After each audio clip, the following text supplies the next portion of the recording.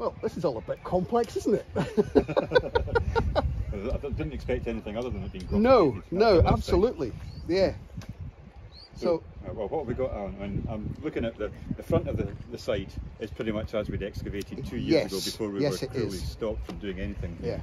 So we've cleared all of that back to more or less where we were before, I think. Yes. Kind of that, yeah. Yep. And then the past couple of days we've had, had a machine in to take away a lot of the overburden, the 19th century demolition rubble, and we're now going down into fresh archaeology that we hadn't Yep, seen before. and the, the the brick flue system from the last reuse is beginning to define itself very well. You can see the the burnt bricks in situ with presumably the flue system coming through towards us with a, an in situ iron bar. Oh yeah, yeah. See that? So that, go- that goes with other iron bits that have been coming Yeah, out. So there's a, a- there's pan bit rivet, there. yeah. So that, yeah, it's um, clearly about an inch thick. The iron plate would have sat in there, hammered on this end, and it's either dropped out or it's been something that's been during the repair process. It's been dropped on the floor. And there seems to be quite a few more of them down there as well. So Yeah, so most of this sort of yellow stuff that we're seeing in the trench is related to the to the iron bits and pieces that we're finding. Mm. But the other big thing, I suppose, that was revealed yesterday, we started to see yesterday, was something we didn't expect, which is just No, that no. enormous archway um, that's right in the side of the building, more or less the middle of the, the pan house as we'd expected. So what would, but well, last year when we abandoned, we wanted to come in and find an ash store down at that corner there. yes, we, we clearly didn't. no, well, we didn't find that. um, what we have got though, and again, revealing the corner of this, it looked okay. This is going to be something that's maybe, maybe three feet wide, Yep. maybe a bit less. Not three meters But wide. it's three meters wide. Yeah. So, do you know what it is? No. no. Right. Okay. That's fine. It's an arch. it's an archway.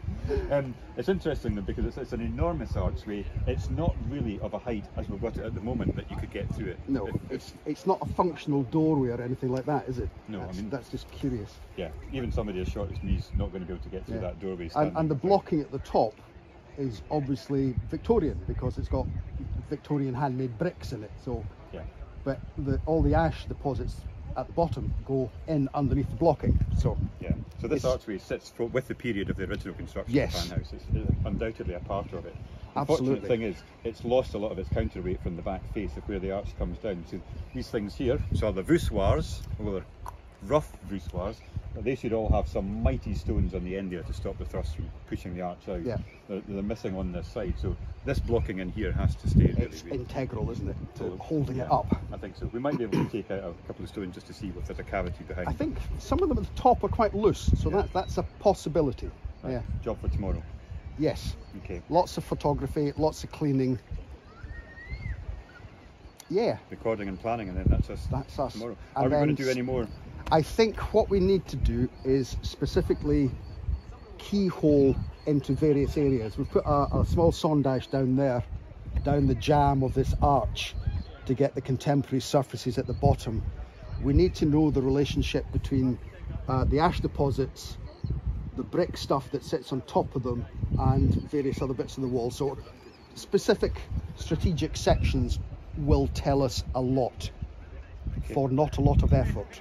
Okay, good. So that's all tomorrow's work then. That's all tomorrow's work. Excellent. Thank you, Al. Excellent.